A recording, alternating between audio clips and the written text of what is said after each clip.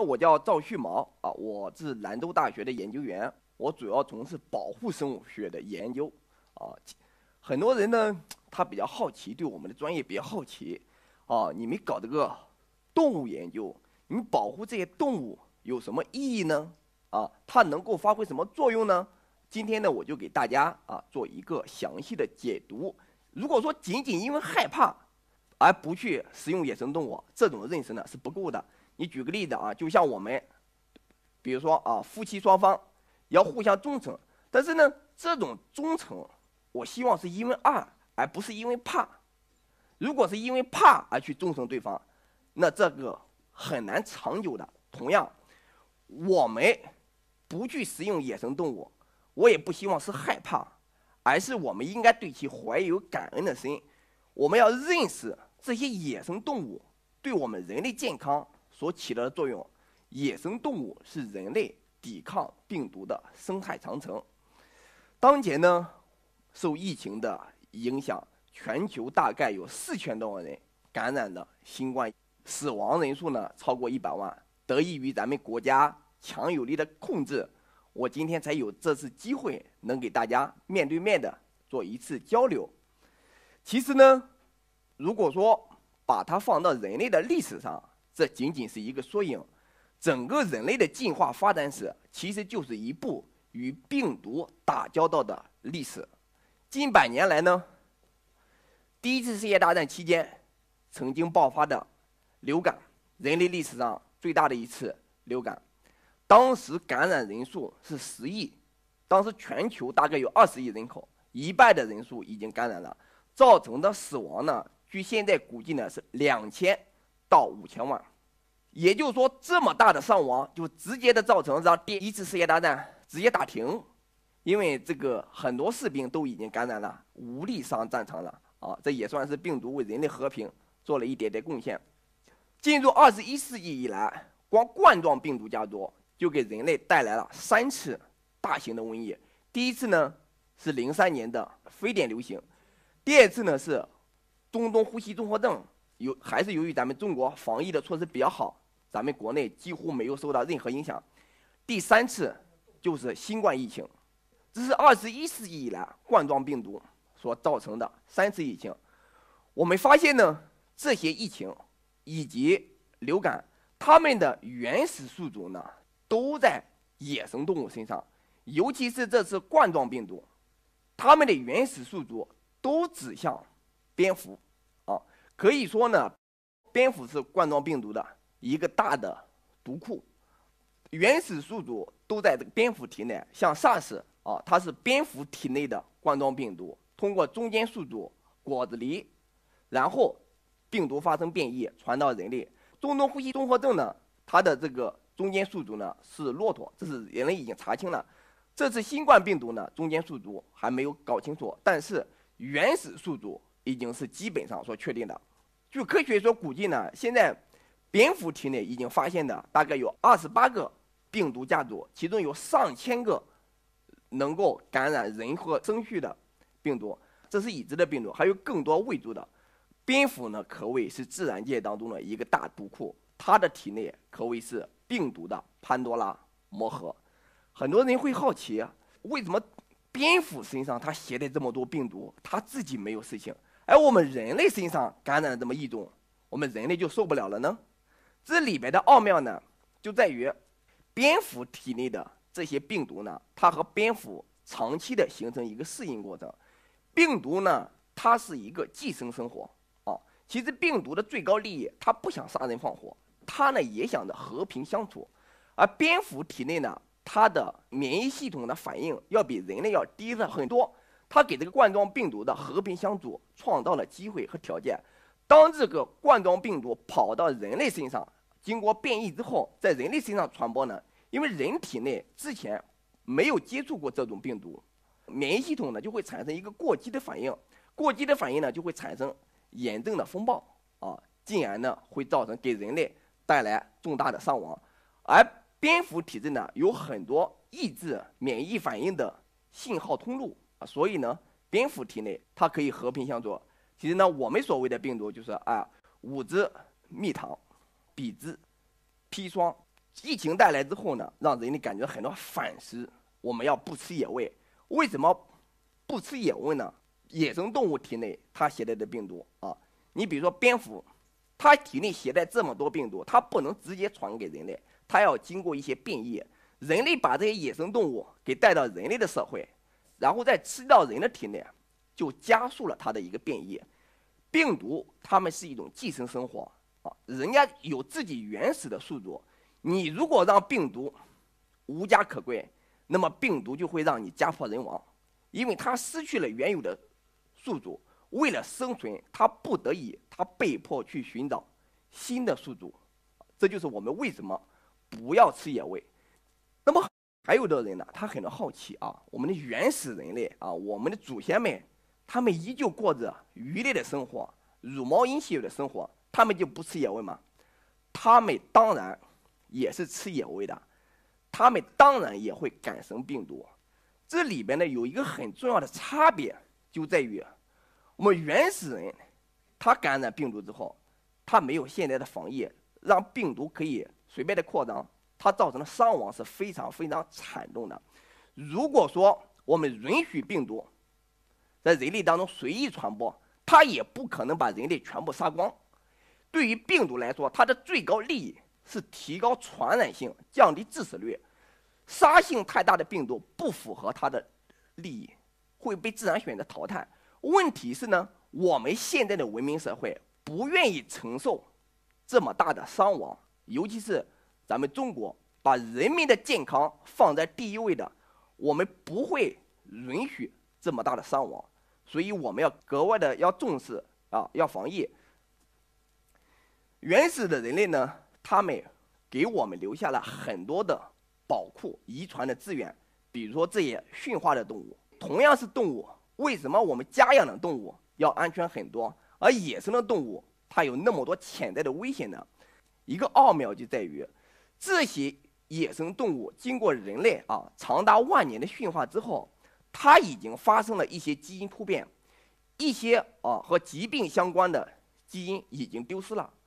再加上呢，人类在饲养这些动物的情况下，他会用一些抗生素，也就是说把风险降低到基本上是可控的范围之内。所以呢，驯化的动物要比野生动物安全很多。其次呢，还有一个重要的原因。人类呢，与这些的驯化的动物至少有相处了上万年，因此对于其体内的病毒呢，有一个漫长的熟悉过程。最关键的一点呢，这些驯化的动物，它可以实现大规模的繁殖、工厂化养殖，对其使用不会对其造成灭绝。我不会把它吃绝。比如说啊，我们喜欢吃猪肉，从来没听说过啊，把哪个养猪场给给吃到破产的。你只能是让它涨价。但是你对野生动物就不一样了。我举一个例子，在坦桑尼亚的国家公园上生活的犀牛和大象，由于盗猎严重，犀牛和大象呢，它的种群锐减。种群锐减之后呢，造成了一个可怕的局面，就是当地牧民所饲养的家畜纷纷感染了很多疾病。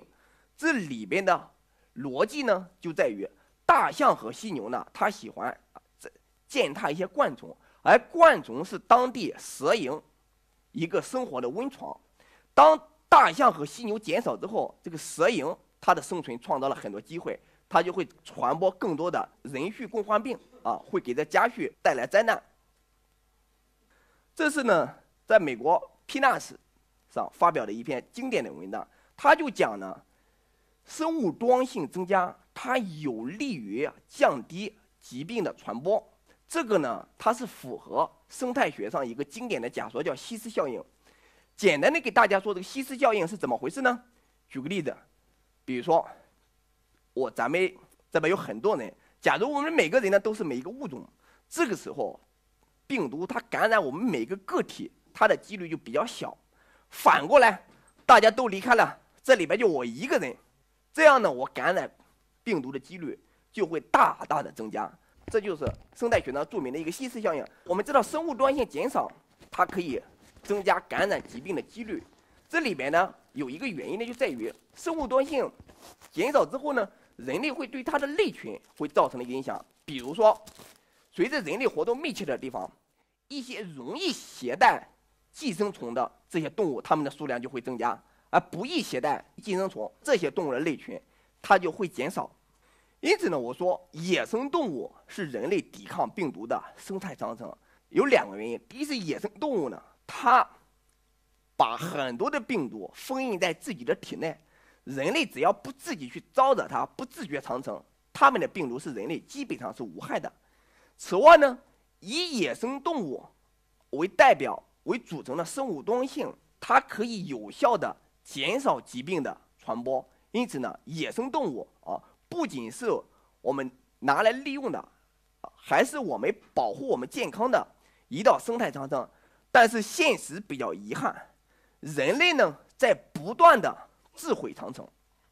我等主要做灵长类的保护研究工作。全球的灵长类百分之六十的处于一个威胁的状态下。在我上初中的时候，二零零二年，中国邮局发了一套这个长臂猿的邮票啊，有有黑冠长臂猿啊，有白眉长臂猿、白掌长臂猿、白甲长臂猿。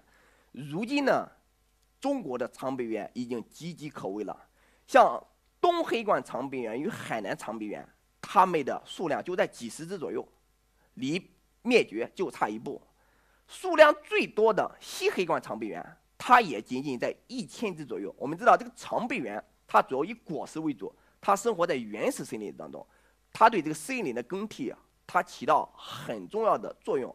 此外呢，我们不要小看一种物种灭绝，一个物种灭绝之后，和它相关的三十多种物种也会遭殃。这就是咱们中国所谓的“慈眉失火，殃及池鱼”。我照片上这六种大型的动物，包括三种犀牛、普氏野马、高鼻羚羊、西江虎，这都曾经生活在中国的大地上，也就在近百年左右全部灭绝，全部从地球上消失。此外呢，中国受威胁的脊椎动物有九百三十二种，已经占到了所有动物的百分之二十一点四。我们面临的生物多样性是不容乐观。同样，全球的形势啊。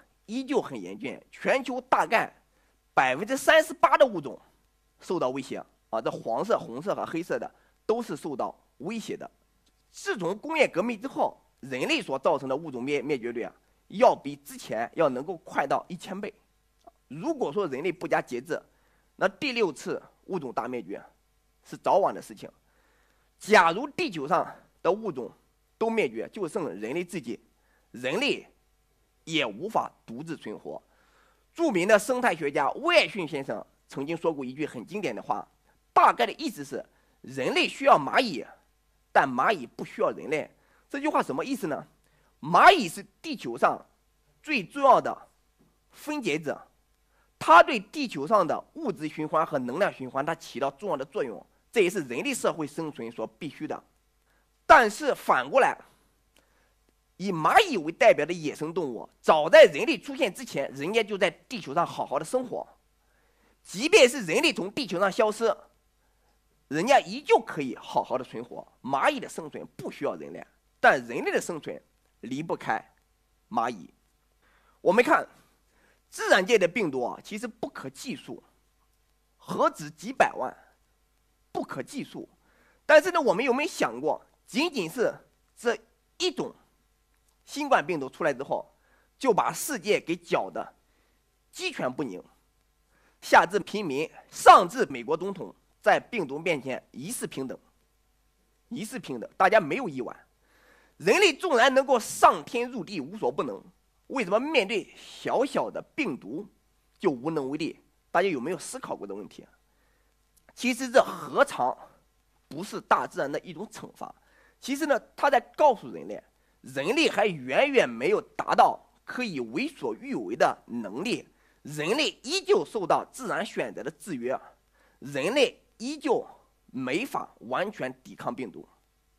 假如说人类可以抵抗病毒，人类可以完全对付病毒，人类可以肆无忌惮，那么地球上其他的物种很难获得生存空间。这就是大自然的制约和平衡，人类是自然之子。人类从古到今一直到现在，依旧不是自然的主宰。